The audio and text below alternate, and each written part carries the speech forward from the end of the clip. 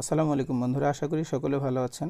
তো আপনারা video title দেখে ইতিমধ্যে হয়তো বুঝে গেছেন যে আমরা একটি ভিটামিন সম্পর্কে আলোচনা করব, যে ভিটামিনের প্রয়োজনীয়তা আমাদের মানব দেহে অপরিসীম।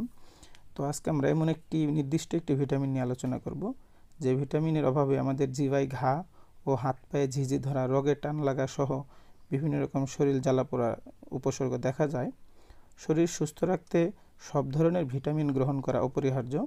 তবে সঠিক খাদ্যাভ্যাস ও খাবারের পুষ্টি সম্পর্কে ধারণা না থাকার বেশিরভাগ মানুষের শরীরে নির্দিষ্ট ধরনের কিছু ভিটামিনের ঘাটতি পড়ে যায়।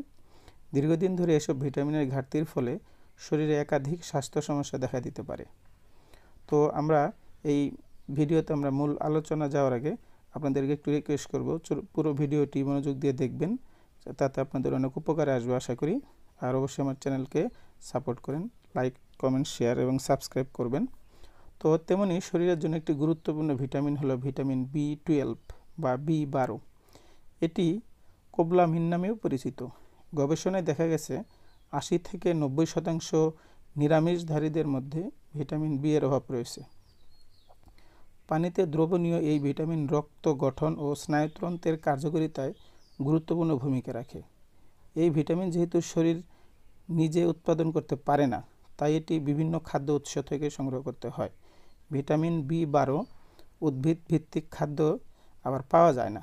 অর্থাৎ শাক সবজি যে ভিটামিন জাতীয় খাবারগুলো আছে এগুলোতে ভিটামিন বি পাওয়া যায় না। ভিটামিন এই ভিটামিনের অভাবে রক্ত স্বল্পতার সৃষ্টি হয়, একই সঙ্গে স্নায়ুতন্ত্র ও সঠিকভাবে কাজ করতে পারে না। অনেক সময় ভিটামিন বি বারোয়ের অভাবে দেখা যাওয়া উপসর্গ টের পান না অনেকেই। ফলে সমস্যা আরও বাড়ে। ভিটামিন বি বারোয়ের অভাবে যে সকল উপসর্গ দেখা যায়, তার মধ্যে উল্লেখযোগ্য হচ্ছে ভুলে যাওয়া, মনোযোগের অভাব জিবা বা মুখে ঘা, হাত পায়ে অবশ ও ঝিঝি ধরা, সমস্যা, ডিপ্রেশন, চরম ক্লান্তি, মেজাজ পরিবর্তন, খিটখিটে মেজাজ, ত্বকের পরিবর্তন, পেটের সমস্যা, স্মৃতিশক্তি কমে যাওয়া ইত্যাদি সহ আরও গুরুতর অসুস্থতার কারণ বা লক্ষণ হতে পারে ভিটামিন বি এর ঘাটতি। শরীরে ভিটামিন বি এর ঘাটতি পূরণে অবশ্যই খাদ্য তালিকায় পশুভিত্তিক বা সম্পূরক খাবার খেতে হবে, অর্থাৎ মাছ, মাংস, ডিম, দুধ খেতে হবে। ভিটামিন বি এর লক্ষণগুলো কি কি? এই বিষয়ে আমরা বিস্তারিত জানলাম। তো আমরা এখানে যে বিষয়গুলো নিয়ে আলোচনা করলাম, এই বিষয়গুলো ছাড়াও ভিটামিন বি এর অনেক অনেক উপসর্গ ও অনেক উপকারিতা রয়েছে।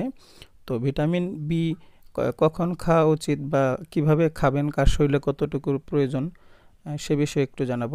ভিটামিন বি বারো খাওয়ার পরিমাণের বয়সের উপর নির্ভর করে, যেমন চার থেকে আট বছর বয়সে ওয়ান পয়েন্ট টু মাইক্রোগ্রাম, নয় থেকে তেরো বছর বয়সে ওয়ান পয়েন্ট এইট মাইক্রোগ্রাম, চোদ্দ থেকে আঠারো বছর বয়সে টু পয়েন্ট ফোর মাইক্রোগ্রাম, প্রাপ্তবয়স্কদের জন্য টু পয়েন্ট ফোর মাইক্রোগ্রাম, গর্ভবতী হলে টু পয়েন্ট সিক্স মাইক্রোগ্রাম এবং বুকের দুধ খাওয়ালে টু পয়েন্ট এইট মাইক্রোগ্রাম। আমরা অনেক সময় দেখা যায় আমাদের মুখের স্বাদ গন্ধ কমে যায়, এটাও কিন্তু ভিটামিন বি টুয়েলভের ঘাটতির লক্ষণ হতে পারে। তো কখন আমরা ডাক্তার দেখাবো? যখন আমাদের ত্বক ফ্যাকাশে দেখায়, দুর্বল বোধ করেন, চলাফেরায় সমস্যা, প্রায় শ্বাসকষ্ট অনুভূত হয়, ইত্যাদি কারণ যখন লক্ষণগুলো আপনারা বুঝবেন, এই লক্ষণ দেখা দিলে দ্রুত চিকিৎসকের পরামর্শ নিন। চিকিৎসক ভিটামিন বি, বারো এর অভাবের সম্ভাবনা নির্ণয়ের জন্য রক্ত পরীক্ষার পরামর্শ দিতে পারেন।